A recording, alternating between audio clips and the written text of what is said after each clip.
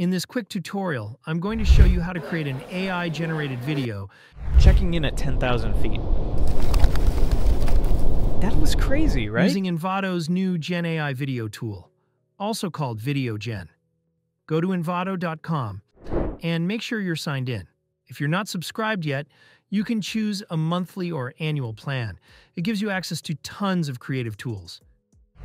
Next, head over to the Gen AI section at the top and select Video Gen from the options. Now, here's where the magic happens. You'll see a prompt box. Just type in what kind of video you want. For example, Caveman vlogs his first day at a modern gym, confused by treadmills and lifting rocks instead of weights.